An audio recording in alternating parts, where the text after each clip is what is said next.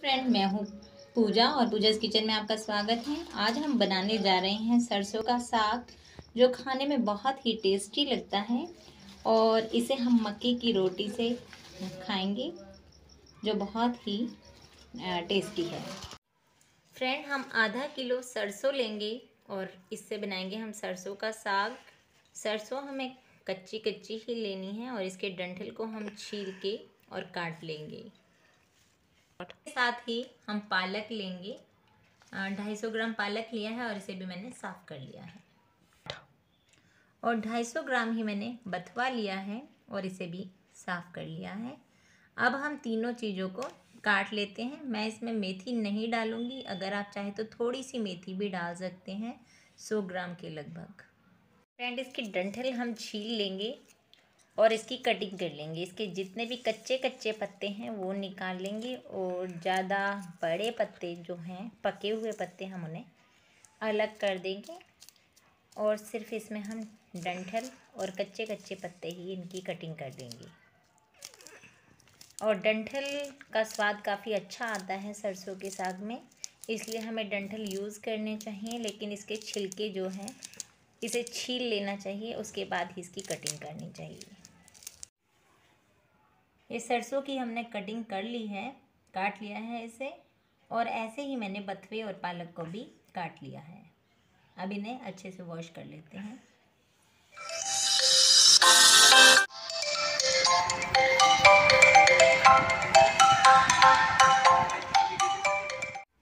सबसे पहले हम कुकर में एक गिलास पानी डालेंगे। इसी में सरसों और पालक भी डाल लेते हैं।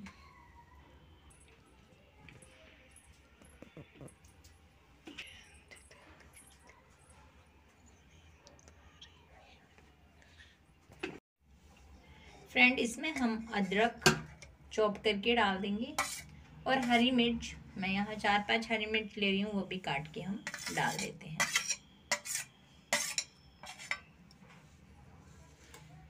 अगर आप चाहें तो इसमें लहसुन डाल सकते हैं, लेकिन मैं लहसुन अभी नहीं डाल रही हूँ, क्योंकि मैं छोक जब लगाऊँगी, तब उसमें लहसुन का यूज़ कर दूँगी ताकि अगर जो लहसुन नहीं खाता, उसके लिए भी हम तैयार कर सकें। अब इसमें हम डालते हैं नमक।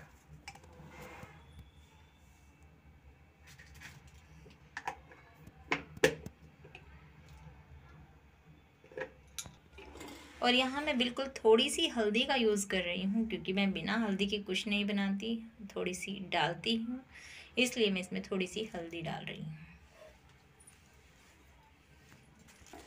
हम्म। और अब हम इस पे ढक्कन लगाते हैं। और दो सीटी लगा लेते हैं।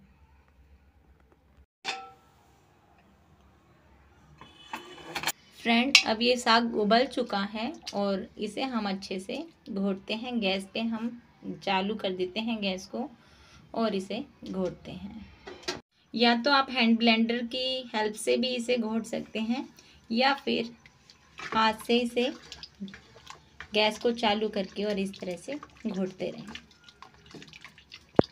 साग घुट गया है और इसे आप चाहें तो हैंड ब्लेंडर से भी ठंडा करके पहले घोट सकते हैं और उसके बाद अच्छे से उबाल लें। और अब इसे में हम डालते हैं। दो चम्मच हम मक्की का आटा लेंगे और इसे हम पानी में घोल लेते हैं ताकि इसमें एक भी गुठली ना रहे, एक भी लम्स ना रहे।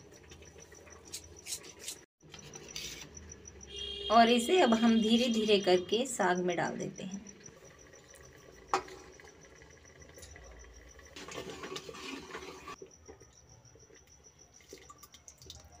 फ्रेंड, मैं साग को थोड़े अलग तरीके से बनाती हूँ और इसमें मैं छाछ डाल रही हूँ, आधी कटोरी बटर मिल्क है ये, और इसे हम डाल के इसमें साग में और इसे चलाते रहेंगे। और इसे हम लगातार चलाते रहेंगे। फ्रेंड, अब जो हमने इसमें मक्के का, आटे का आलन दिया है, उसे और जो छाछ डाली है, उसे हम अच्छे से पकने देते हैं और इसे हम लो फ्लेम पे पकाएँगे। इसे जितना चाहे उतना घोट सकते हैं। मेरे घर में ये ज़्यादा घुटा हुआ पसंद करते हैं, खड़ा खड़ा नहीं पसंद करते हैं। अगर आपको खड़ा खड़ा साग पसंद है तो आप उतना ही घोटें। फ्रेंड हम घी डाल लेते हैं और घी में ही हम छोंक लगाएँगे। फ्रेंड हम सबसे पहले डालते हैं हींग और जीरा। अदरक, लहसुन और हरी मिर्च डाल देते हैं। ऐड करते हैं प्याज। फ्रेंड अब इसमें ग्रेट किए हुए टमाटर डाल देते हैं। मैंने दो प्याज लिए थे और तीन टमाटर को ग्रेट कर लिया है। वन फोर्थ चम्मच हम कश्मीरी लाल मिर्च डाल देते हैं। वन फोर्थ चम्मच में लाल मिर्च डाल रही हूँ, क्योंकि मैंने हरी मिर्च कम डाली है, इसलिए मैं इसमें लाल मिर्च डाल रही हूँ। अगर आप हरी मिर्च ज़्यादा मात्रा में डाल लें तो इसे आप अवॉइड भी कर सकते। हैं फ्रेंड, अब इसने घी छोड़ दिया है तो तैयार है, और इसे हम सरसों के साग में डाल देते हैं। फ्रेंड, अब सरसों का साग बिल्कुल तैयार है, और इसे हम बटर डाल के खाएँगे मक्के की रोटी के साथ, जो कि बहुत ही टेस्टी लगेगा। तो साग बिल्कुल तैयार है खाने के लिए और इसे आप भी ज़रूर ट्राई करें। अगर वीडियो पसंद आई हो तो प्लीज़ लाइक करें शेयर करें और सब्सक्राइब ज़रूर करें। Thank you for watching my video